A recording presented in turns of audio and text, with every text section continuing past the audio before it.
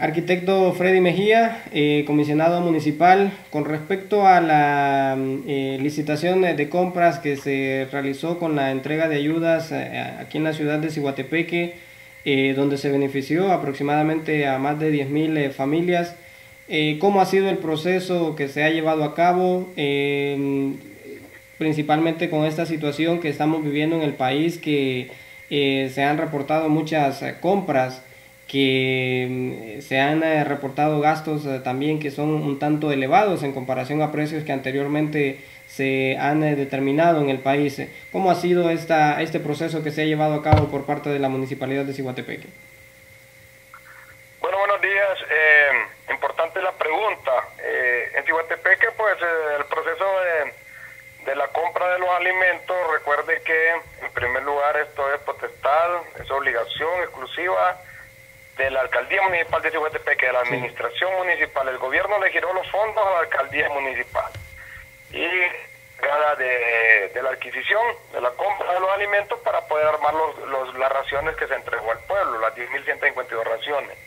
Eh, nosotros estuvimos como parte de veeduría social dando fe y, también observando como observadores de que estos fondos se les diera buen destino y sobre todo que cumplieran con eh, con todas las medidas de transparencia y legalidad.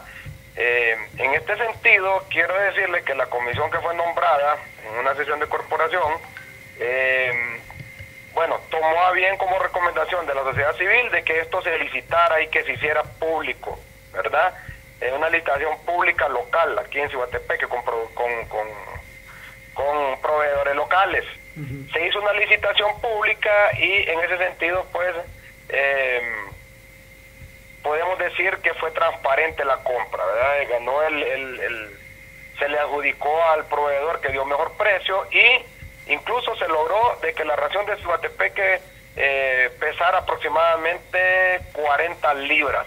Esto creo que, que fue mm, un muy buen proceso el que se dio aquí en Cibatepeque en cuanto a la compra de estos alimentos, ¿verdad? Y, y la sociedad civil pues integrada por por la Comisión Ciudad de Transparencia, comisionado municipal y otras organizaciones de sociedad civil, estuvimos presentes en el proceso de licitación. Hasta ahí, pues, nosotros estamos satisfechos con, el procedimiento que se realizó de esta primera entrega. Ahora, arquitecto, hay muchas eh, personas que han dado a conocer diversas denuncias con respecto ya a la, precisamente a la entrega, que se dice que se llegaba a algunos lugares, que solo se repartía a ciertas personas y que inclusive se andaba hasta con un listado en, en algunos eh, sectores del municipio. ¿Qué podemos decir al respecto sobre esto?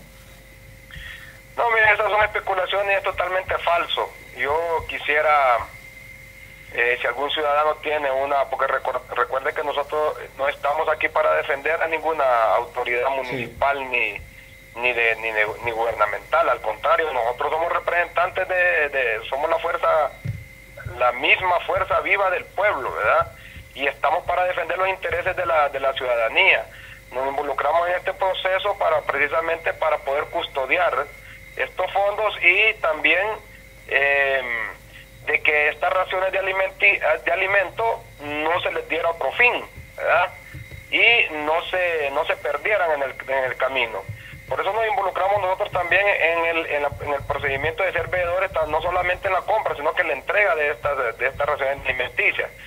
Si, entonces, repito, si algún ciudadano tiene una denuncia puntual con pruebas, si alguien me puede enviar a mí una, un listado y que en base a ese listado se entregó, nosotros vamos a proceder porque eso es prohibido. No se puede hacer eso y de hecho no se hizo. Por lo menos nosotros, mientras anduvimos, porque fuimos parte, de, repito, como veedores de la entrega de estos alimentos y en ningún momento se permitió de parte de la sociedad civil ningún tipo de listado. Fueron rechazados eh, porque sí, por parte de algunos presidentes de patronato se llamaba para decir que ellos tenían los listados, pero incluso los lugares que, llegaron a los alimentos no se permitió que los jefes de patronato, presidentes de patronato o de algún programa de gobierno se involucraran en la entrega. Así que por lo menos eh, en los que nosotros, en los sectores que nosotros anduvimos como veedores, eso no pasó. Yo quiero decirle que eso es falso.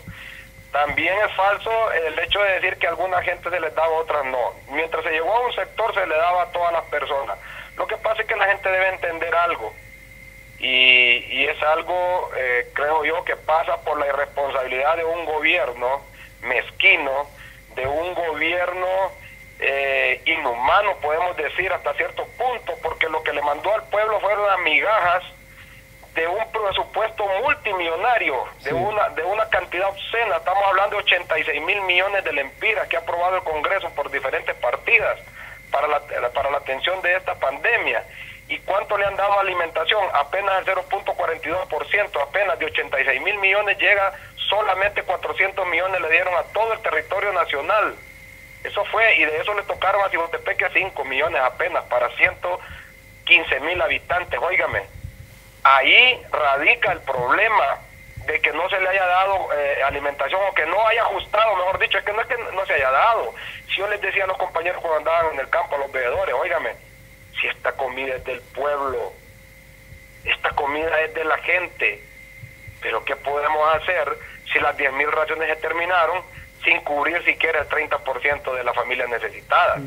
Esa responsabilidad, Ariel, y la gente tiene que entender que ese, ese grado de culpabilidad es del gobierno central.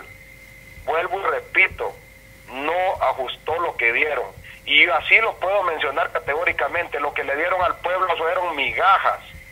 Y no se vale, creo yo, eh, eh, en una emergencia como esta, cuando se tiene al pueblo encerrado, cuando se tiene sin, sin los medios de trabajo, cuando no son congruentes las, las decisiones que ha tomado el gobierno central en algunos puntos por ejemplo, le voy a, le, voy a decir, eh, dan permiso para que hagan la ferretería, pero sin embargo restringen la circulación de precisamente los, involucrados alrededor de este rubro ferretero, como son los albañiles, los ayudantes de albañiles, los carpinteros, los pintores, los yeseros, los fontaneros, los electricistas, y puedo darle una gran lista de, de, oficios y de y de rubros que mueve la, construcción.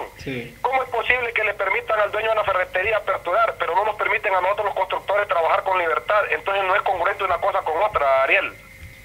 Por eso vuelvo y repito, el problema de que no se haya dado comida como el pueblo de Cihuatepeque, como nosotros los veedores hubiésemos deseado, es del, del gobierno central.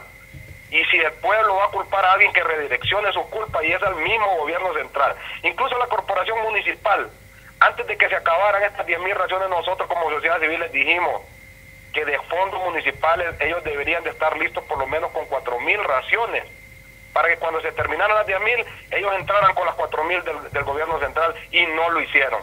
Ahora, arquitecto, con respecto a esto que usted menciona, se aprobaron 2 millones más por parte de la municipalidad, pero según he escuchado también algunos regidores manifiestan que si se utilizara estos dos millones, ellos podrían caer en un reparo como corporación municipal. Mire, yo creo que esos dos millones ellos lo aprobaron de, la partida de gastos, de gastos. O sea, no, no, no es la partida de, de, presupuesto de inversiones, sino que son de los gastos operativos que tiene la alcaldía municipal de Cihuatepeque. Y hasta donde yo entiendo, em, no, no, no había eh, en el análisis legal eh, por qué preocuparse de, por la parte legal. Y si había alguna algún inconveniente, alguna duda, pues yo creo que para eso están las instancias eh, como el Tribunal Superior de Cuentas, eh, Secretaría de Finanzas, eh, Asociación de Municipios de, de, Municipalidades de Honduras, Lamón, al cual ellos pudieron en su, en su debido momento hacer las llamadas respectivas. Pero hasta donde yo tengo conocimiento, no, no pues no se veía por dónde lo podían reparar. Si, si es la misma partida de gastos y quien, quien entiende de, la cuestión contable, de contabilidad, sabe que eso es permitido, ¿verdad? Porque no se le está dando, lo que se está cambiando nada más son las partidas, pero siempre del mismo renglón de gastos de operativos de la alcaldía municipal. Se le dan dos millones de lempiras, ya están aprobados. Lo que no entendemos es por qué no se compraron las raciones antes de que se terminaran las 10 mil que mandó el gobierno y en este bache de tiempo, que nosotros sabíamos que iba a existir un bache de tiempo entre las primeras 10.000 entregas y la, y la segunda, que supuestamente van a venir, porque hasta ahorita no vemos la luz clara, mire, ya hoy es lunes, pasó una semana eh, desde que terminó la primera entrega y aún no se escucha la segunda entrega. En este bache de tiempo tenía que actuar la municipalidad de Cihuatepeque y haber entregado las 4.000 raciones producto de los 2 millones. Usted multiplica 500 lempiras que vale la ración por 4.000, son 2 millones exactos.